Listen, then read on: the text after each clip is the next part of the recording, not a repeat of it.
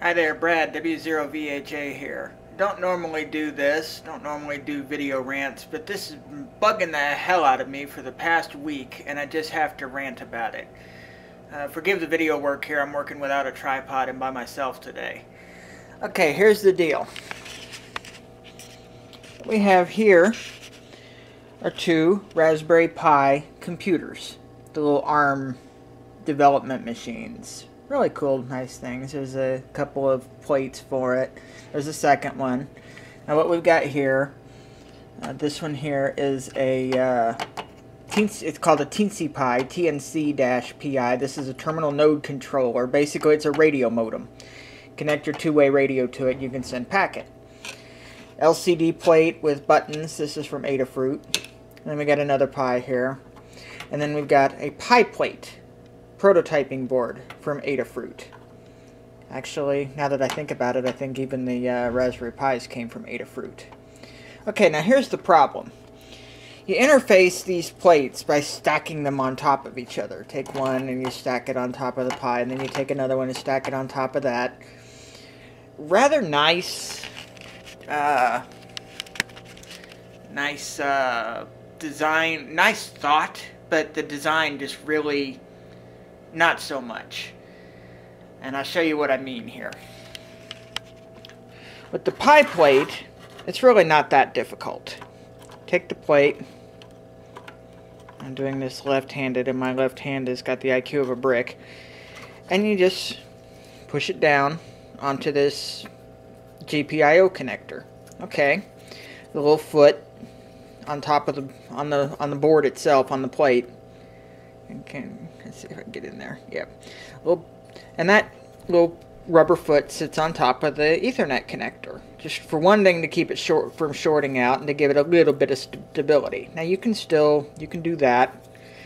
And it, it rocks a bit and just not the greatest design in the world, but it works.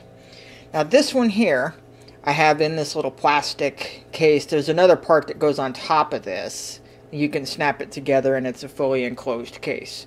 Now I'm not using that because I want to put these on here.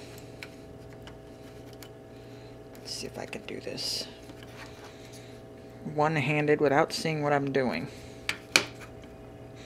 Okay, now that one's bad enough. You can see, let's see if I can get in there. You can see the term, the contacts are actually sitting on top of the USB connectors and the Ethernet connector. It's probably not actually touching the Ethernet connector, but it is sitting on top of the USB connector. I had to put tape on top of the USB connector, several layers of tape, to keep that from shorting out against this grounded USB connector. Alright, now there's a little screw that goes in there, right there in that hole gives it a little bit of stability. Uh, I don't know how Dave from EEVblog does this. I watch him do it all the time and drives me nuts that he seems to be able to do this all one-handed. Or either that or he's got a really good tripod. So there, we got that secured down.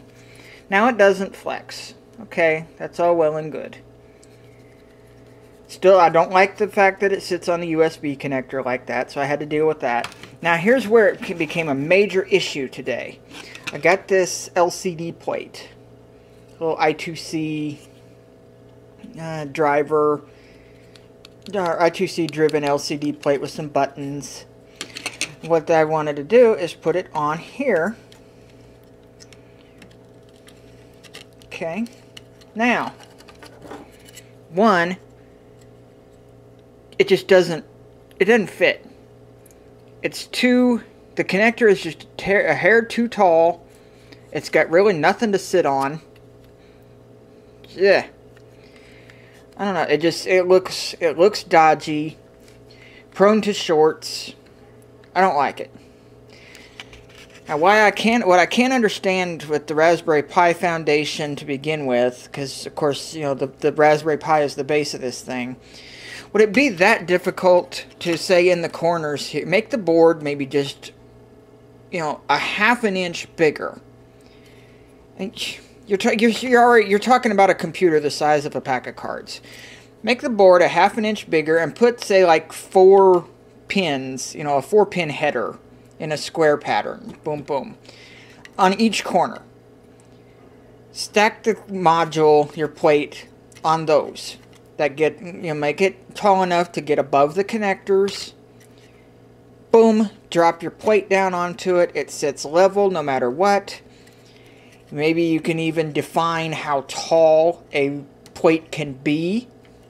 You know, it can only be three eighths or uh, three quarters of an inch high. The connectors have to be this high. You know, make it make a standard for plates to attach so they don't end up all dodgy like that. I mean, give it some give it some support. You could even, I mean, you've got your uh, ground and power planes inside the board. You could even bring your 3.3 volt and 5 volt power and ground up through those pins. So they don't have to be support only. You could you could provide power through them. And just make the thing more stable, easier to work with, less likely you're going to short something out. And if you're gonna, if you're gonna, you know, now we've got 3D printers. If you're gonna make an enclosure for like say I wanted to make a custom enclosure for this Teensy Pie with this display on it, I'm gonna have a hell of a time doing it because the plates don't sit level. I'm gonna have to put supports in my enclosure somehow to hold those boards steady. I just I don't like it and I'd be willing to pay a bit extra for my Pi and uh, Pi plates if I knew they would go together and stay together properly. Like I said, I don't normally video rant, but had to.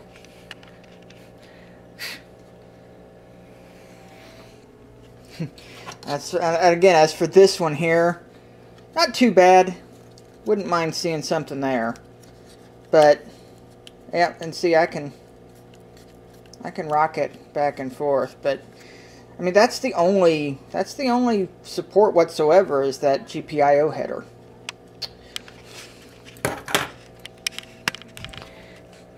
Enough of that. Keep rocking out. 73